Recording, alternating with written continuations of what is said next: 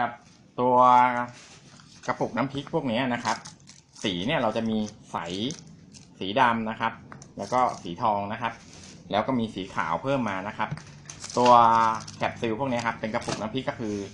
ส่วนใหญ่ลูกค้าจะใช้กระปุกประมาณนี้นะครับ ถ้าวัดกันนะครับประมาณ6เซนครึ่งนะครับ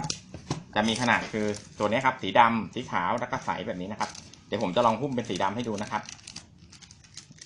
แบบนี้นะครับเป็นกระปุกสีดำ จะเป็นฝาสีดำแบบนี้นะครับ หรือฝาสีขาวเนี่ยครับ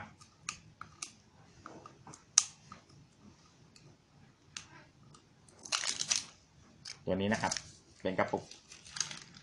เป็นฝาสีขาวกระปุกสีดำแบบนี้นะครับ เป็นฝาสีดำเดี๋ยวผมจะลองเป่าให้ดูนะครับครับ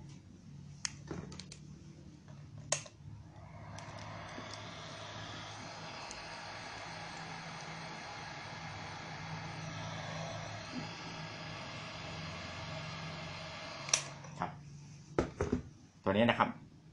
ตัวนี้เป็นสีดำฝาสีขาวนะครับ หรือว่าแล้วแต่ลูกค้าจะเลือกนะครับ ตัวนี้มันจะมีอยู่สามสี มีสีขาวสีใสแล้วก็สีดำนะครับ หรือถ้าเป็นแคปซูลสีทองจะเป็นแบบนี้นะครับ ตัวนี้สามารถสั่งผลิตได้นะครับ สนใจสินค้าสอบถามนะครับ0 8 5 1 2 2 1 2 0ครับขอบคุณครับ